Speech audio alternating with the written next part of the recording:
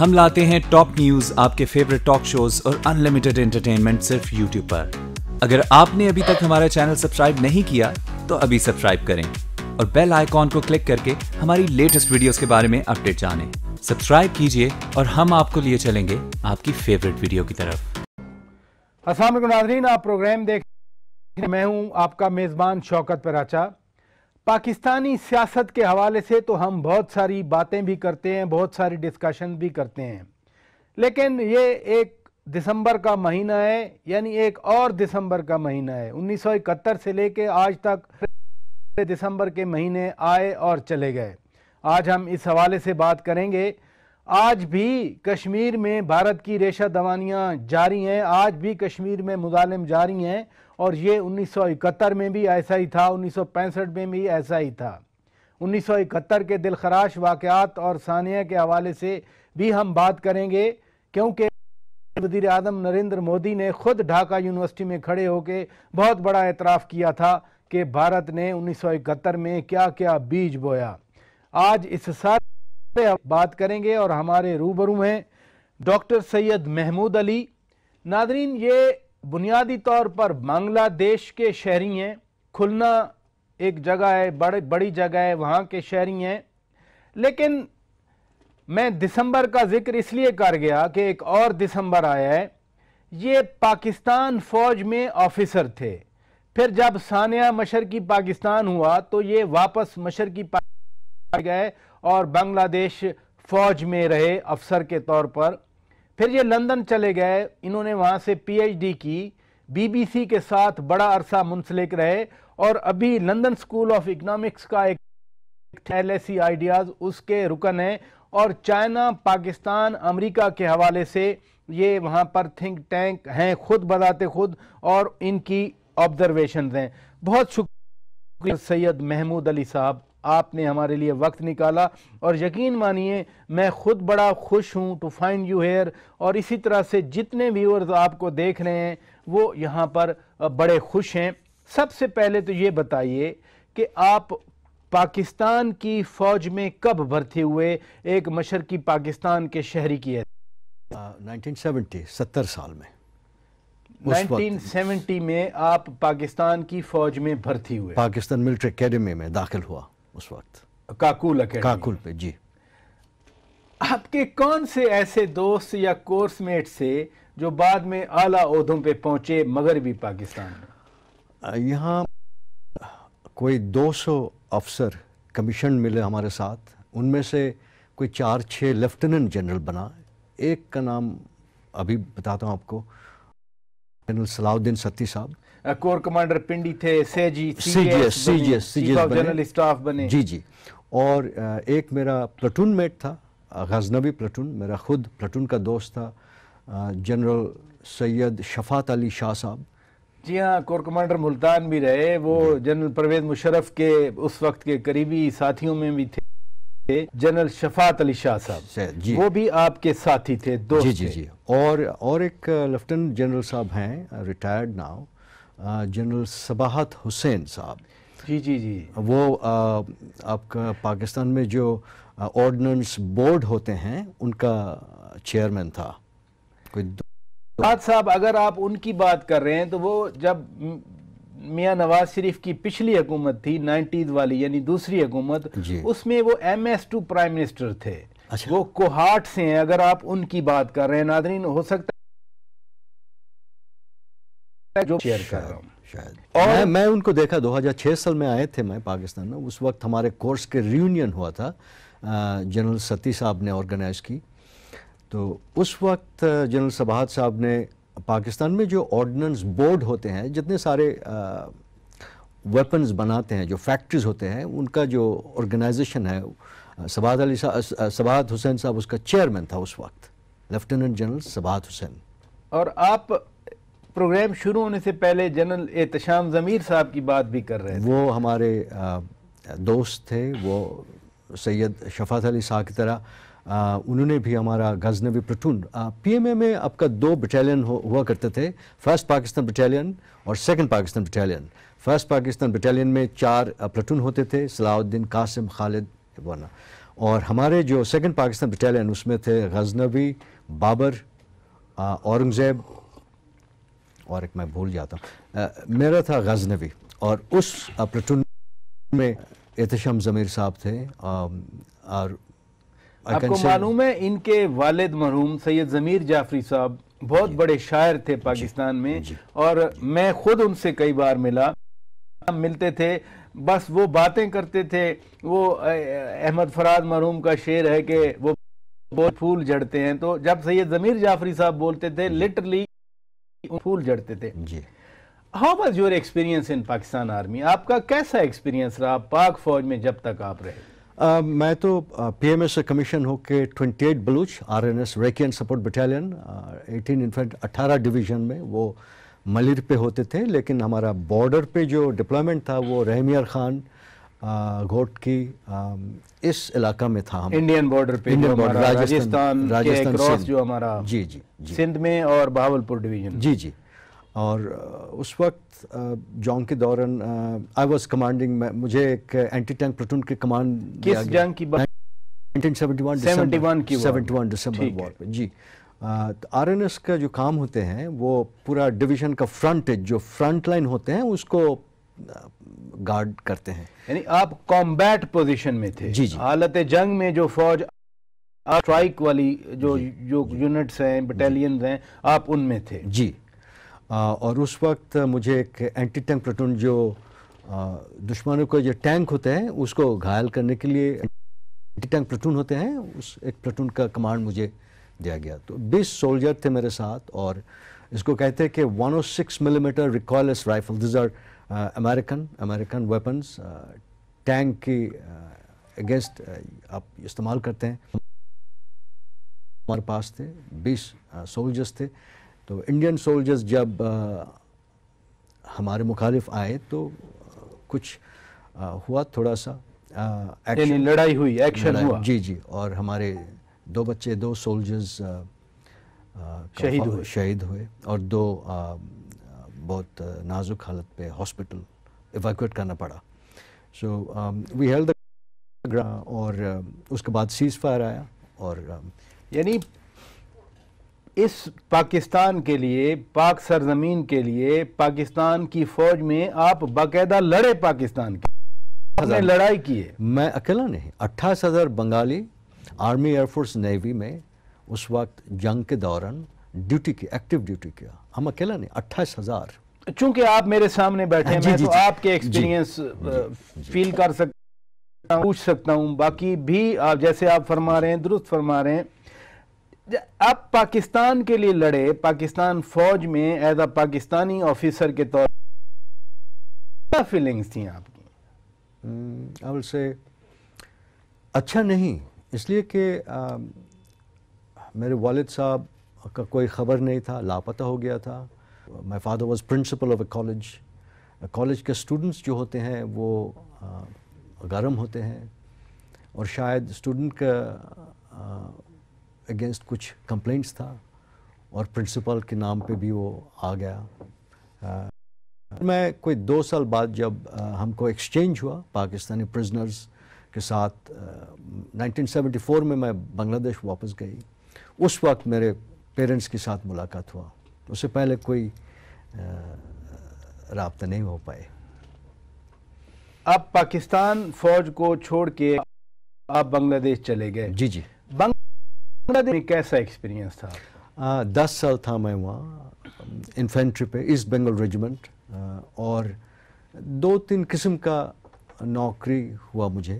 आ, पहले तो रेजिमेंट में ड्यूटी पड़ा लेफ्टिनेंट था फिर कैप्टन बना कोर्स की ऑपरेशनल डिप्लॉयमेंट उस वक्त मुल्क में काफ़ी सारे मुश्किल था वेपन्स था लॉ एंड ऑर्डर का मुश्किल था, कुछ तो फ़ौज में इस्तेमाल, फ़ौज की इस्तेमाल किया गया। बॉर्डर गार्ड एट्सेट्रा स्मगलर्स बंद करो वेपन्स पकड़ लो। तो ये सारी ड्यूटी हमने की। और चिटगोंग हिल ट्रैक्ट से एक इलाका है हमारे देश में। उस इलाका में कुछ गड़बड़ था तो फ़ौज वहाँ ड्यूटी किया, वहाँ पर भी हमने ड्यूटी की। फिर हमने आ, ढाका आए कोर्स की और स्टाफ ड्यूटीज़ की। आ- आप इधर गाकुल एकेडमी में ट्रेनिंग ली। जी जी।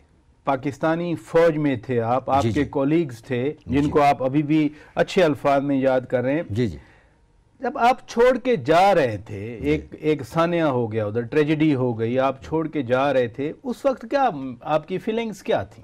बड़ा अनसर्टन पीरियड था मालूम नहीं किसको साथ कोई कांटेक्ट नहीं था दोस्त कहाँ गए घर कुछ नहीं जानते।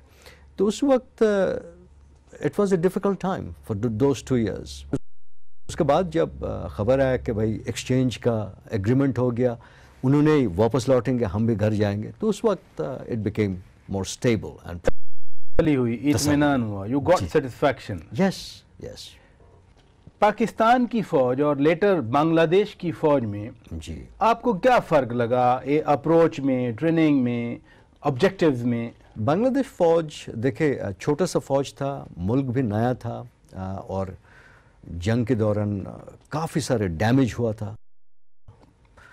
पैसा भी कम थे तो हमारे पास जो रिसोर्सेज होते थे, बड़ी कम होते थे। So the original purpose was to defend the state hold the peace maintain stability जो स्मगलर्स होते थे, और और इसके पास होता था, उनको संभालना। पहला काम था। तो ट्रेनिंग्स बाद में आया। कोई अ, सन 76 77 उसके बाद प्रोफेशनलिज्म स्टार्टेड बिल्डिंग बस उस ड्यूटी हर एक इलाका पे हंगामी तौर पे ड्यूटी ड्यूटी करना फौजी ड्यूटी आपके ख्याल में आप पीएचडी भी होल्डर हैं आप स्कॉलर भी हैं बीबीसी के साथ भी काम किया अल्हम्दुलिल्लाह आपने। थैंक यू अभी तक अभी तक इतने सालों के। पाकिस्तान और बांग्लादेश हार्मोनाइज क्यों नहीं कर पाए अपने रिलेशनशिप को? आ, जब भी आप आ, मेरे ख्याल में ये मैं सोचता हूँ कि भाई दो पार्टी के बीच कुछ गड़बड़ होते हैं झगड़ा फसाद होते हैं दंगा फसाद होते हैं तो फिर दोनों पार्टी का कोशिश होना चाहिए कि भाई अभी अब मिलाप कर ले। तो इसमें से एक पार्टी सोचते हैं ग्रीवेंस होते हैं कि भाई हमारे ऊपर कोई ज़्यादती किया है, कोई अनफेयर ट्रीटमेंट किया है। पार्टी ऐसे सोचते हैं तो फिर उनमें से मिलाप होना बड़ी मुश्किल की बात है। और 71 में जो हुआ, उसके बारे में पाकिस्तान की सोच एक किस्म का है और बांग्लादेशी का सोच और किस्म का है। और इनमें से ये जो गैप बनते हैं, इस गैप को नज़दीक कराना इकट्ठे मिलाना मुश्किल की बात है, कोशिश होना चाहिए। लेकिन उस कोशिश को हम अभी तक मेरे बाहर रहता हूँ कोई तीस पैंतीस साल बाहर हूँ, बाहर से जो देखता हूँ मैं समझता हूँ कि ये बड़ा मुश्किल का काम है। कोशिश अगर हो, दोनों साइड से गुडविल हो तो फिर इट इज़ पॉसिबल मुमकिन होगा। लेकिन इससे पहले दिल खोल के बात होना चाहिए, दोनों तरफ़ से। और समझता हूँ कि अभी तक ऐसा नहीं हुआ नहीं हो पाए। आप फरमा रहे हैं कि बात होनी चाहिए बैठना चाहिए हो नहीं पाया। मुझे ब्रेक का कहा जा रहा है। ब्रेक पर जाने से पहले मैं सवाल भी आपके पास छोड़ता हूँ कि 1974 में एक ट्राईपार्टाइट एग्रीमेंट हुआ था सैफरी की मुआदा था। क्या वो काफ़ी नहीं था जिसमें तीनों ममालिक ने पाकिस्तान इंडिया और बांग्लादेश ने ये प्लेज किया था, वादा किया था कि अब हम आगे बढ़ेंगे, आगे की तरफ़ बढ़ेंगे हारमोनाइज करेंगे अपने रिलेशनशिप को। ब्रेक के बाद मैं जवाब लेंगे Nadrin stay with us welcome back Nadrin. आप रूबरू प्रोग्राम देख रहे हैं और आज हमारे रूबरू हैं सैयद महमूद अली डॉक्टर हैं पीएचडी हैं। इनके डिस्टिंक्शन इन्होंने पाकिस्तान आर्मी में कमीशन लिया, ये पाक फौज में अफसर के तौर पे भर्ती हुए। फिर सानिया पाकिस्तान के बाद ऑब्वियसली इनको मशरकी पाकिस्तान जाना पड़ा। ये खुलना जगह है मशरकी पाकिस्तान में, उस वक्त और आज के बांग्लादेश में जहाँ के ये रहने वाले हैं। उसके बाद ये लंदन चले गए। काम किया, मीडिया को भी समझते हैं। इस लिए ये एक्सपर्ट हैं लंदन स्कूल इकोनॉमिक्स के थिंक टैंक में। चाइना, पाकिस्तान, अमेरिका के बारे में इन्होंने बुक्स भी लिखी हैं। आज हमारे साथ मौजूद हैं हमारे रूबरू हैं। हम ज़रा मोहतात अंदाज में पे भी बात कर रहे हैं और थोड़ा आने वाले हालात के हवाले से भी इनसे बा, बात करें। Once again thank you very much you know break पर जाने से पहले मैंने एक सवाल छोड़ा था। हम बात कर रहे थे बांग्लादेश और पाकिस्तान के आज के ताल्लुक के हवाले एग्जिस्टिंग रिलेशनशिप के हवाले से। एक सानिया हो गया। वो आपने खुद ही अच्छा फरमाया कि इधर के लोग भी समझते हैं कि ज़्यादती हुई, उधर के लोग भी समझते हैं कि ज़्यादती हुई। But you had a good approach you have a good approach आपने कहा कि मिल के जब बैठेंगे, ये जो महरूमियाँ हैं, तलखियाँ हैं, जो बिटरनेसेस हैं, वो दूर होंगी। मेरा सवाल था कि जो ट्राईपार्टाइट एग्रीमेंट हुआ था वो काफ़ी नहीं था जिसमें प्लेज किया गया कि अब हम आगे बढ़ेंगे। माजी की जो बिटर रियलिटीज़ हैं बिटर मेमोरीज हैं, हम उनको नहीं बनने देंगे। ये तो बात आपने सही बोला, लेकिन देखिए रियलिटी ये है कि इंसान के दिल में जो सेंटिमेंट्स इमोशंस और पैशंस होते हैं, उसको कोई गवर्नमेंट में एक डॉक्यूमेंट साइन करके न्यूट्रलाइज नहीं करते। दिल में रहते हैं। ये पाकिस्तान में भी होते हैं, बांग्लादेश में भी, हर मुल्क में ऐसा ही होता है। हम इंसान ऐसे ही होते हैं। हम इमोशनल होते हैं पैशनेट होते हैं सेंटिमेंटल होते हैं। रीज़न सिर्फ़ रीज़न के काम थोड़ा सा मुश्किल होते हैं। इस इस बट इन तलखियों को बिटरनेसेस को लीडरशिप ज़रा काम करती है। लीडरशिप वो हम कहते हैं, ज़ख़म पे मरहम रखती है। लीडरशिप का काम होता है। जो सेंटिमेंट्स हैं उनको किसी ख़ास डायरेक्शन में लीडरशिप का काम होता है। क्या लीडरशिप इस मामले में अपना किरदार सही करती रही है? देखिए, आप अगर पाकिस्तान का हिस्ट्री ध्यान देते हैं तो अब पार्टीशन के बाद पाकिस्तान जब नया मुल्क हुआ इंडिपेंडेंट मुल्क हुआ, उस वक्त पाकिस्तान के लिए पार्टीशन बड़ा पेनफुल मेमोरी था। एंड जो जिसको नेशनल नैरेटिव कहा जाते जो हमारा दिल में बस जाते कि ये हमारा हिस्ट्री है। मेजर हिस्ट्री मेजर रियलिटी है अभी तक है। For Pakistan as well for India and for decades कितने साल? सत्तर साल गुजर गया। फिर भी बहुत लोग समझते हैं कि भाई भारत के साथ हमारा दोस्ताना मुश्किल की बात बात है। एंड ऐसे ही हमारा ख्याल ये है कि बांग्लादेश नया मुल्क है और सेंटिमेंटल जो प्रॉब्लम्स जो होते हैं हिस्टोरिकल मेमोरी वो अभी तक रॉ है फ्रेश है। और उसको मरहम लगाने के लिए दोनों तरफ़ से जो कोशिश करना ज़रूरी है वो हमने देखा नहीं अभी तक। ये बिल्कुल रहे हैं। इवन इन मेमोरीज को ख़त्म करने के लिए एक इंटरनेशनल डिप्लोमेसी में जिसे पब्लिक डिप्लोमेसी कहा जाता है जिसे पीपल टू पीपल कॉन्टेक्ट्स कहा जाता है कि आज अगर बांग्लादेश के लोग इधर आए नौजवान आए इधर थिंक थिंकर्स आए सोचने वाले आए लिखने वाले आए दानिशवर आए बदल सकती है।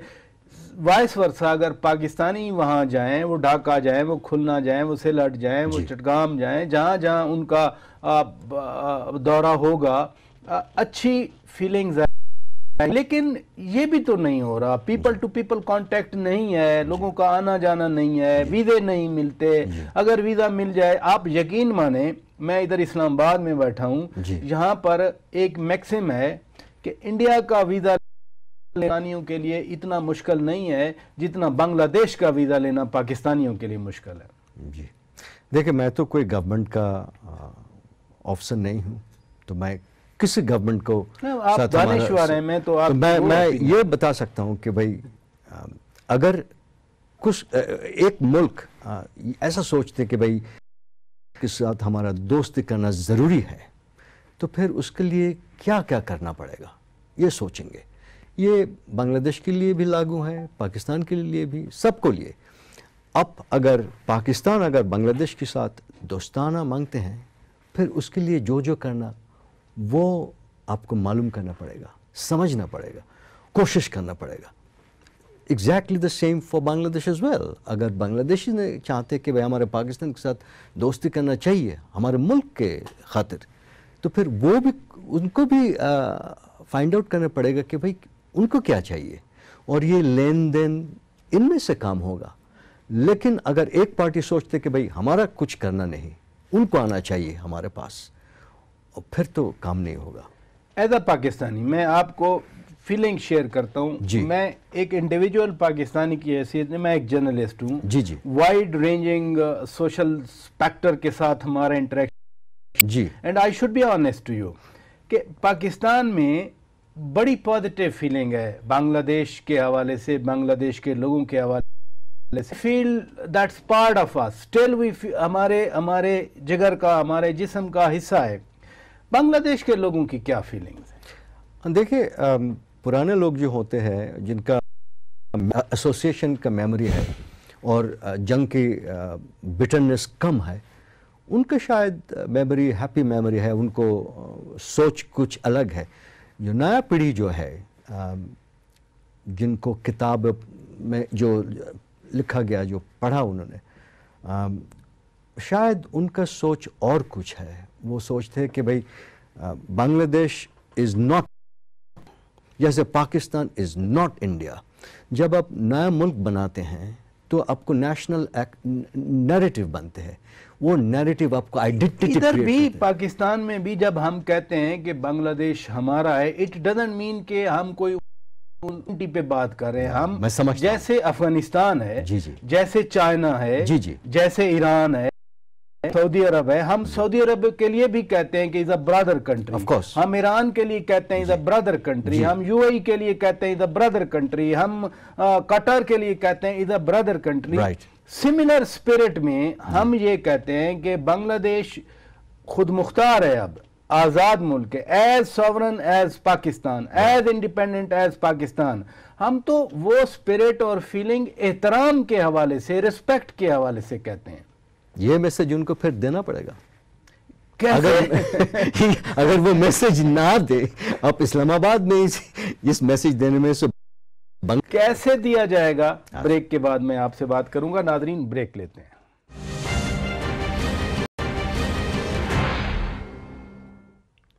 Welcome back Nadrin. हमारे रूबरू हैं सैयद महमूद अली साहब और ये पहले पाकिस्तानी फ़ौज में अफसर थे।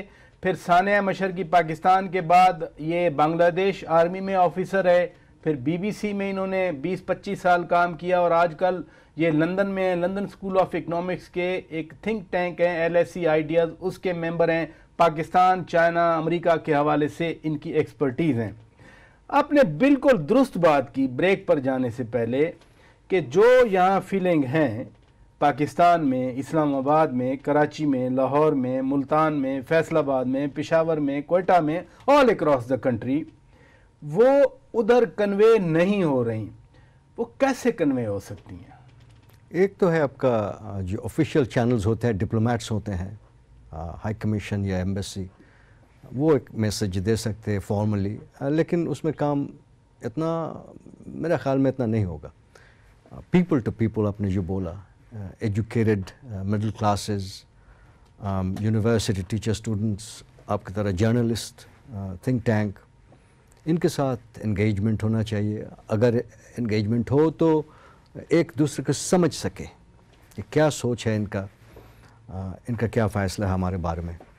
और उससे बड़ा है हर मुल्क का कुछ ना कुछ अ, कमी होते हैं। बांग्लादेश की इकोनॉमिक कंडीशन इज़ इम्प्रूविंग अच्छा हो रहा है। छः साढ़े छः परसेंट ग्रोथ हो रहा है। फिर भी तजारती में और साइंस एंड टेक्नोलॉजी में उनको और आगे बढ़ना चाहिए।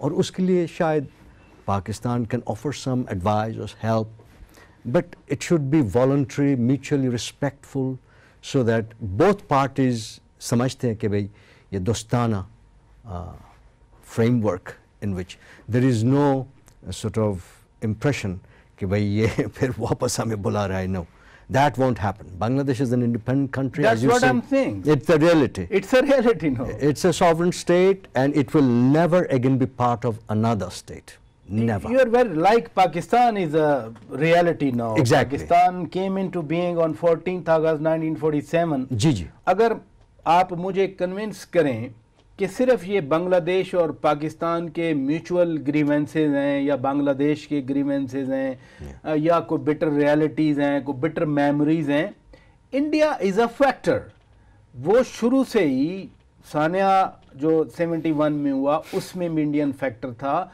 और बड़े सालों के बाद प्राइम मिनिस्टर नरेंद्र मोदी जब ढाका यूनिवर्सिटी में गए तो उन्होंने एड्रेस करते हुए खुद ही एतराफ़ किया कि हमारा क्या किरदार था। अब भी तो हो सकता है आप नई जनरेशन की बात कर रहे हैं उन्होंने वो वॉर रियलिटीज नहीं देखी। किताबें फिर कौन लिख रहा है? फिर अखबार में आर्टिकल कौन लिख रहा है? क्या इंडियन फैक्टर आपकी नज़र में इतना इन्फ्लुएंशियल है कि दोनों मुल्कों को दूर रखे हुए? देखिए बांग्लादेश में दो तीन किस्म का पॉलिटिकल पार्टीज़ होते हैं। उनका पर्सपेक्टिव अलग अलग होते हैं। आ, कोई पॉलिटिकल पार्टी सोचते हैं कि भाई कि हमारे मुल्क की तीनों तरफ़ इंडिया है, बड़ा मुल्क है, बड़ा मिलिट्री पावर है, बड़ा इकोनॉमिक पावर है ग्लोबली इन्फ्लुएंशियल पावर है। इनके साथ हमारा झगड़ा फसाद में हमारा कोई फ़ायदा नहीं। इनके साथ मिल के जुल कर हमको काम करना पड़ेगा। और दूसरा पार्टी सोचते हैं India Bangladesh relation should be equal just as any other neighbour तो नुअंसेस डिफरेंट होते हैं अलग अलग होते हैं। Reality is India did play a role in 1971 उनका फ़ौज बांग्लादेश में गए और ईस्ट पाकिस्तान और उसको बांग्लादेश बनाने में आ, क्या मदद की। मुक्ति बानी मुक्ति बानी को जी जी फौज आ फौज आ गई। तो ये historical reality it's a fact it's it it facts have to be recognised और मोदी साहब ने जो कहा वो सही कहा कि इंडियन ने एक रोल प्ले की। And uh, I think it's a fact that most Bangladeshis are aware that without Indian help, uh, independence could not come on the 16th of December. Shayad it would take much longer. Now, because it is, it, India provided such help, uh, जंग में इतना मदद की एक emotional uh, एक relationship बनते हैं and that relationship is important for the Bangladeshi narrative. Because in 1971 Pakistan दोस्त नहीं था इंडिया दोस्त था और वो जो हिस्टोरिकल जो ट्रेडिशन जो थिंकिंग वो अभी तक लागू है इस रीजन में आपने इंडिया की बात की, मैं भी इंडिया की बात कर रहा हूँ। किसी नेबर के साथ इंडिया का पीसफुल को एग्जिस्टेंस नहीं रहा। श्रीलंका में, जैफना में जो कुछ होता रहा, वो इंडिया की सपोर्ट से होता रहा। मुक्ति बानी, इंडिया ने आप भी वही बात कर रहे हैं जो नरेंद्र मोदी ने की थी, और हकीकत भी यही है हिस्टोरिकल रियलिटी है। बहुत सालों डेकेड्स के बाद इंडिया के वज़ीर अजम ने इतराफ़ किया। नेपाल के साथ जो ब्लॉकेड हो जाता है, वो भी पता है आपको। Kashmir is a living reality आजकल जो ब्रुटैलिटीज़ हो रही हैं, जो मुजालिम हो रहे हैं, पहले गन का इस्तेमाल हो रहा है। दुनिया आप लंदन में रहते हैं दुनिया क्यों खामोश है? क्यों इग्नोर कर रही है इस चीज़ को? कॉम्प्लेक्स um, क्वेश्चंस है। Um, एक तो बात यह है कि लॉ इंटरनेशनल लॉ जो बनते हैं हम वो मैं खुद समझते नहीं कि सेल्फ डिटर्मिनेशन कहाँ बनते हैं और कहाँ नहीं बनते हैं। आप देखें स्पेन में जो हुआ कैटलन प्रोविंस उन्होंने वोट दी। कि भाई हमें अलग होना चाहिए। अगर आप कहते हैं कि भाई इंटरनेशनल लॉ कहते हैं कि self determination is a right given to you internationally फिर तो उनको अलग हो जाना चाहिए। लेकिन स्पेनिश गवर्नमेंट बोला कि भाई ये हमारे कॉन्स्टिट्यूशन की मुखालिफ है। हम I will not allow this is that correct और इज़ दैट नॉट करेक्ट कौन डिसीशन लेगा? तो इनमें से कॉम्प्लेक्स क्वेश्चंस है। हमको I cannot give you an answer which is authentic or authoritative. Thank you, sir. But आपने अच्छा किया एक आज की एग्जांपल दे दी कैटलॉन्स और स्पेनिश की जी उसमें यूएन सिक्योरिटी काउंसिल नहीं है right. उसमें सिक्योरिटी काउंसिल की रेजोल्यूशंस नहीं है right. उसमें दुनिया की पाँच बड़ी ताकतों का कश्मीरियों को ये प्रॉमिस नहीं है कि आपको हम प्लेबिसिट का राइट देंगे उसमें स्पेनी, स्पेन के किसी प्रीवियस प्राइम मिनिस्टर का ये वादा नहीं है कि हम आपको प्लेबिसिट का राइट देंगे। कश्मीर तो इंडिया के कॉन्स्टिट्यूशन में भी स्पेशल स्टेटस रखता है आर्टिकल 370 में। जिस कश्मीरियों के साथ सिक्योरिटी काउंसिल ने प्रॉमिस किया, जिन कश्मीरियों के साथ पंडित जवाहरलाल नेहरू ने प्रॉमिस किया कि you will be given right to self determination उस कॉन्टेक्स्ट में आप क्या सोचते हैं? Uh, in 1953 December, uh, Pandit Nehru, Prime Minister of India, wrote a letter to Pakistan's Prime Minister, Muhammad Ali, Bogra साहब उनको लिखा ये लिखा और वो uh, चिट्ठी मैंने देखा कि पाकिस्तान अमेरिका के साथ एक मिलिट्री अलायंस ट्रीटी साइन करते जा रहा है बायोलेटरल ट्रीटी बायोलेटरल ट्रीटी बिल्कुल और ये ट्रीटी के बाद पाकिस्तान की जो लोकस जो पोजीशन होगा, वो भारत से कम्प्लीटली अलग होगा। और इस हालत में पाकिस्तान के साथ इंडिया के जो, कश्मीर के बारे में जो एग्रीमेंट हुआ था, वो लागू नहीं होगा। तो उन्होंने ये लिखा कि इसलिए हमने प्लेबिसिट को अभी नहीं मानते हैं। ये सिर्फ़ पाकिस्तान और भारत का मामला तो नहीं है। ये तो मैं यूएन सिक्योरिटी काउंसिल की रेजुलेशन की बात कर रहा। हूँ। उस कॉन्टेक्स में यानी ये इंडिया और पाकिस्तान ने मिल के नहीं फैसला किया था कि जी कश्मीरियों को हक खुद इरादियत दिया जाएगा बल्कि दुनिया की इस वक्त भी पचास साल, साठ साल पहले जो बॉडी थी, आज भी उतनी ही अफम है सिक्योरिटी काउंसिल मौजूद है। वही पाँच बड़ी ताकतें हैं, चीन, अमेरिका, रूस, फ्रांस, बरतानिया, ये ब्रिटिश लेगेसी है। मैं तो खाली पूछ रहा हूँ कि यूएन सिक्योरिटी काउंसिल अपना वादा पूरा क्यों नहीं कर रही? शायद उनका सोच और कुछ है, लेकिन अगर उन्होंने कहते कि भाई, इंडिया वायलेट किया तो फिर कुछ काम करना चाहिए। That's what I am asking लेकिन उन्होंने नहीं किया। नहीं किया। इसका मतलब उन्होंने कहते कि माई सोच आउटसाइडर्स एकेडमिक व्यू ये है कि भाई status quo is likely to be the best solution ये जो सॉफ्ट पार्टीशन है पाकिस्तान के साथ आज़ाद कश्मीर और इंडिया के साथ जम्मू कश्मीर यही सोल्यूशन होगा। इसको तो कश्मीरी नहीं मानते। तो कश्मीरी कश्मीरियों ने सत्तर साल से नहीं माना। वक्त जा रहा है रोहिंगा मुसलमानों का मसला बड़ा सीवियर मसला है। उसमें चूँकि बांग्लादेश में भी रिफ्यूजीज आए हुए हैं। जी। इधर जो रिपोर्ट्स आती हैं कि बांग्लादेश फेंसिंग कर देता है उनको रिस्ट्रिक्ट कर देता है। ज़ाहिर है वो बर्मा के सिटीजन हैं म्यांमार के सिटीजन हैं। ऐसे इंसान मिलियंस ऑफ़ देम जिनकी कोई नेशनैलिटी नहीं है, जिनकी कोई शहरीत नहीं है, मसला तो सिटीजनशिप का है उनका कि उनको म्यांमार की हुकूमत अपना सिटीजन तस्लीम नहीं करती, उनको सिटीजनशिप के राइट्स नहीं मिलते। ये आलमी सतह पर क्यों नहीं इसका, इसको एड्रेस किया जा रहा? शायद आज अमेरिकन जो secretary of state foreign minister है उनका रेक्स टिलरसन यंगन गए। अमेरिका का कुछ इन्फ्लुएंस है नया गवर्नमेंट के ऊपर। लेकिन बात यह है कि मैं सोचता हूँ कि म्यांमार कभी रोहिंगा को अपना शहरी वो स्टेटस नहीं दी। कभी नहीं दी। कहते हैं ये इलीगल इमिग्रेंट्स है। और बांग्लादेश कहते हैं ये हमारा शहरी नहीं है। ये इनका एंसेस्टर्स कब, कहाँ गए दो दो, तीन सौ साल पहले, इनके साथ हमारा ताल्लुक क्या? लेकिन छः लाख से आठ लाख रोहिंग्या बांग्लादेश पे है। रहते हैं। अभी भी रहते हैं। छः से आठ lakh. Almost a million almost a million in camps